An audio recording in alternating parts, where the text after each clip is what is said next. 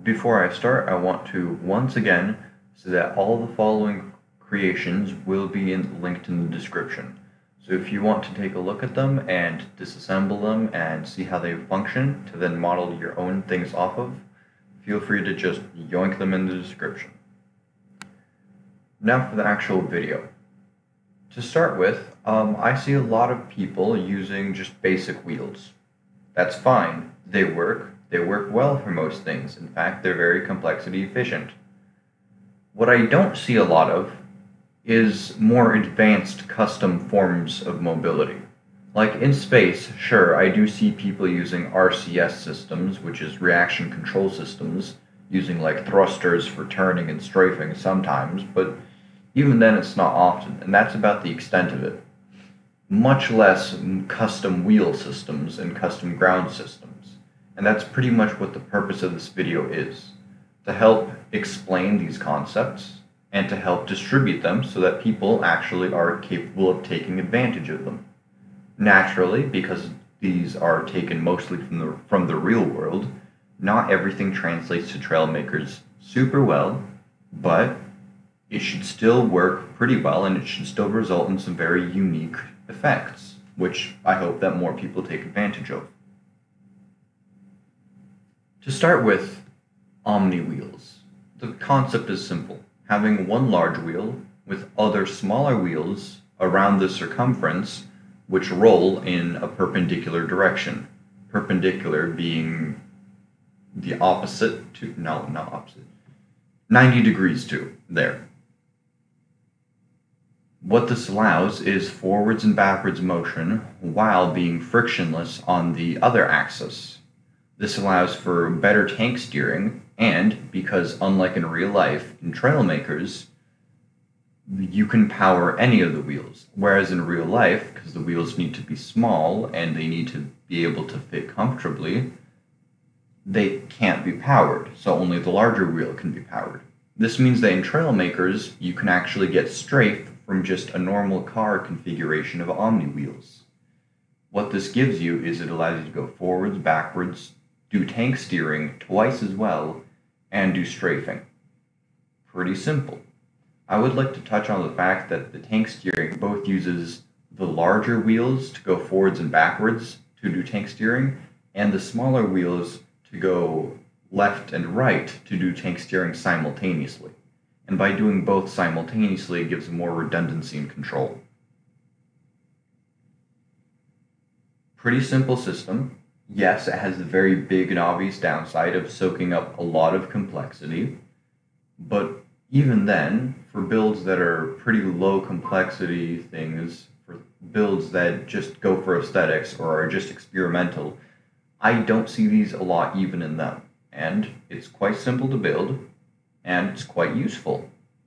It's effectively a hovercraft, but you actually have friction so you don't go sliding around all over the place. It's pretty effective. But in real life, to simulate the fact that we can't power every single wheel on the outer surface, I will remove some of the engines. And as you can see here, this results in more side-to-side sliding and less control. The way that people get around it in real life is by placing the wheels perpendicularly. So you have a set of Omni wheels going one way and a set of Omni wheels going the other way. This results in the same full control along all axes as before, but in this case, you don't need to power the, power the outer wheels to achieve it.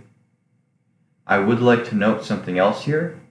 Um, this does result in a very smooth ride, uh, but I am using the spinning, I forget the name. I'm not using the servos because the spinning blocks have a faster top speed, but they do have some startup lag, and they do have less force.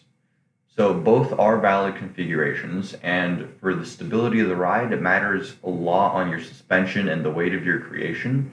But generally, I've found that these are generally a lot smoother than you would expect due to wheel sync and a couple of other weird interactions with the wheels, which soften the blow a lot more than you would expect.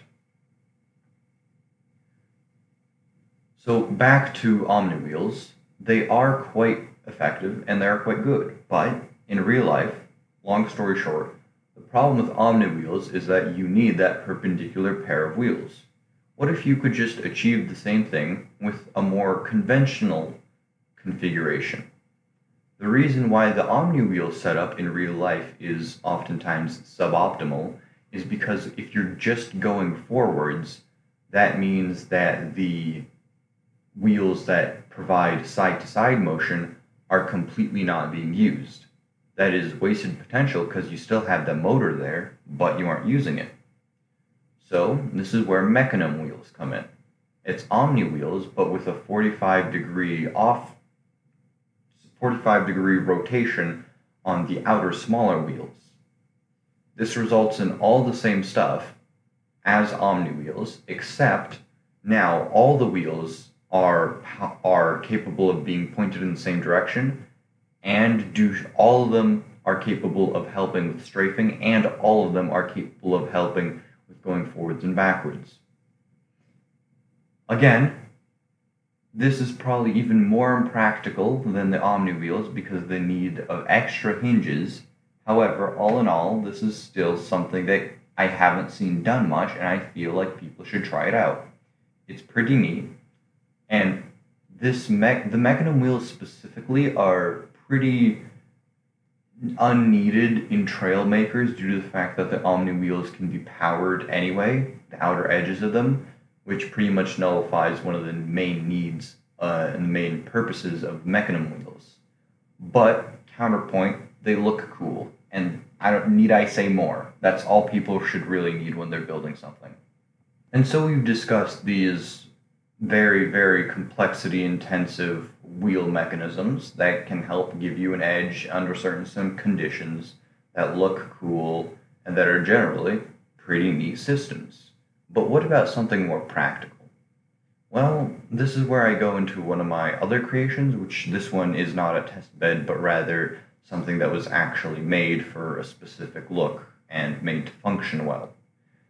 Sadly, because of the nature of the me using go-kart wheels, because they are the smallest, this thing only works on very, very specific types of terrain, specifically paved roads.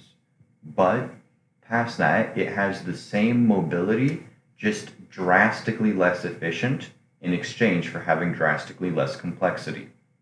What this allows is forwards, back, forwards and backwards motion, turning, and strafing all in one with significantly less complexity.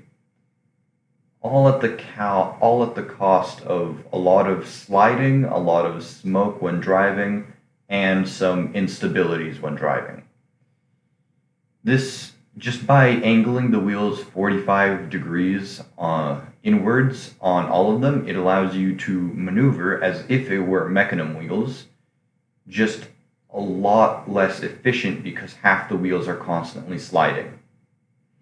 There's nothing really I found to alleviate this, but it does work, and it does work decently well, and it is something that is actually within the range of potentially practical for actual vehicles in, say, for example, combat.